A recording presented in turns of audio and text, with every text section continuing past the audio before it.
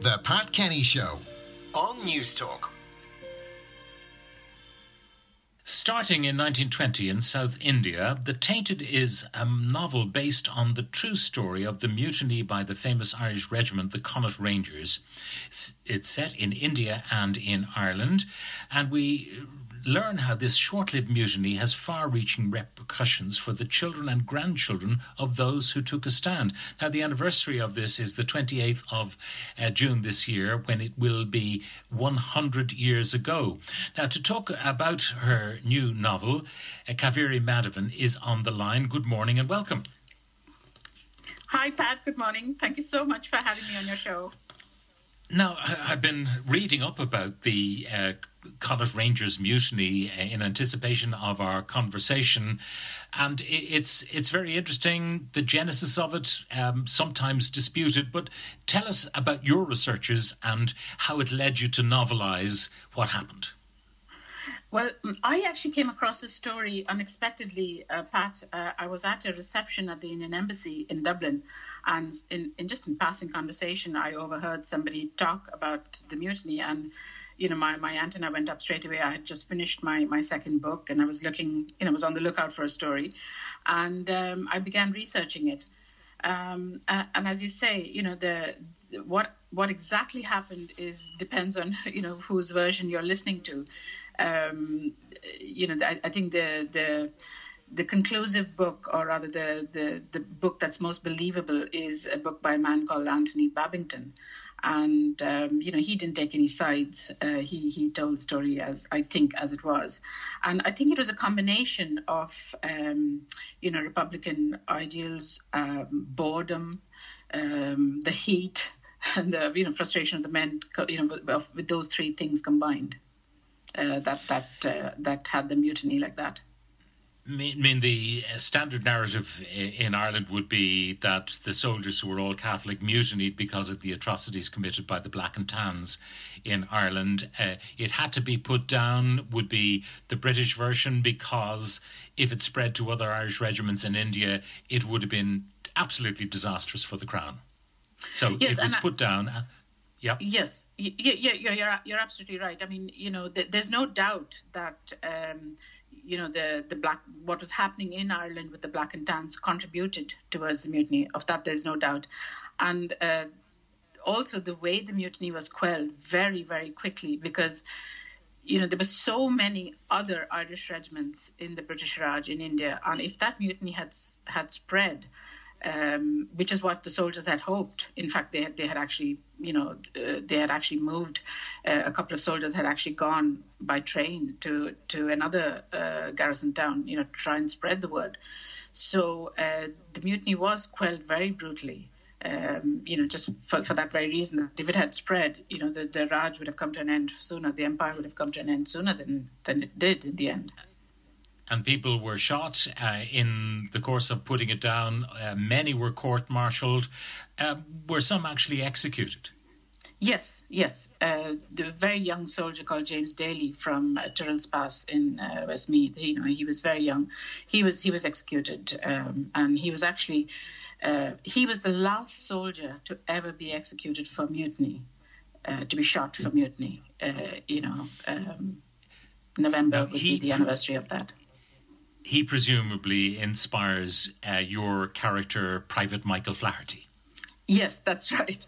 Um, you know, Pat, I, I, I, started writing the book, and uh, you know, and I, it was to be the story of the mutiny of the Connaught Rangers. But uh, about you know about three chapters into it, uh, you know, I I realized that I was going to have to fictionalize the regiment. Um, because you know just the, the you know a regiment only has one adjutant and one colonel and one chaplain and I didn't want to be putting words in and you know fictionalizing people who actually did exist. So uh, I then switched. You know, I, I, based it very, very closely on the mutiny, uh, but I, I fictionalized my regiment, and because I live in Kildare uh, and have lived here, it's my home uh, for for a good 20 years now. Uh, so I, I fictionalized the regiment and called them the Kildare Rangers. And my young soldier, Michael Flaherty, comes from the townland that I live yeah. in, uh, called Clock. Now, uh, the book is in two parts: the, the the mutiny, which is set at the time of the the mutiny and in the aftermath, 1920 to 1945, and then uh, the second part is the sitar guitar girl, which is a more modern um, follow up historically to the remnants, if you like, of some of the characters that you've laid down in the first part. I don't want to give yes. uh, too much away, but people will be interested about the genesis of the term the tainted. Who were the tainted? Okay, so um, you know the tainted actually is three in, in this book. The tainted are three groups of people. So it's the the Irish Catholic soldiers who, uh, you know, just by enlisting and serving the crown, were tainted by that association. Um, then the, the second group were the Ang- Anglo-Irish uh, officers who, you know, who were tainted but just by being Anglo-Irish. They were never English enough. They were never Irish enough. And then the third group were actually, you know, the, the project are the Anglo-Indians, you know, people of mixed race in India who were the progeny mainly of uh, soldiers of the of the Raj, uh, many many hundreds and thousands of them had Irish uh, fathers and, and forefathers. Uh, you know, these these were these were children that were born of uh, you know relationships that many many soldiers would have had uh, children that were abandoned because they were mixed race. Their the, the relationships with, with Indian women were never legitimized by by the soldiers. So um, so you know three groups of tainted people. And when I started writing this book, it was meant to be the story of the mutiny. But very quickly I realized that the the there was a real story to be told about. Uh, you know these about Anglo-Indian people, the, the children that that were fathered by Irish Irish men, uh, whether they were in, whether they were serving in the army or whether they were in the civil service.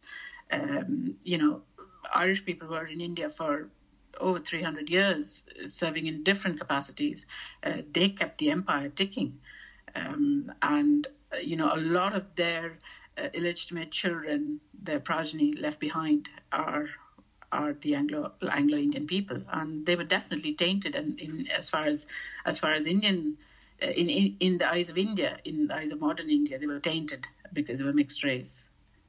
So, well, you know, I, I felt that a, there was a real story there. And there is a real story there. A wonderful, wonderful novel to read. As I said, that the, it's a mixture of well, there's a romance uh, at the beginning. I'll say no more than that.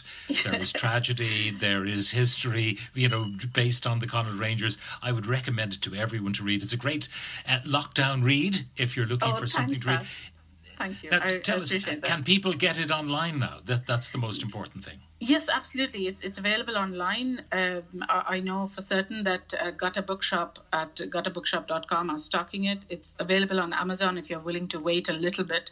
Uh, it's just you know, it's not that it's, it's not that they're not posting out. It's just a bit slower, and it's also available through my uh, publishers at their uh, website hoperoadpublishing.com. All right. Well, Cauvery Madhavan, thank you very much for joining us.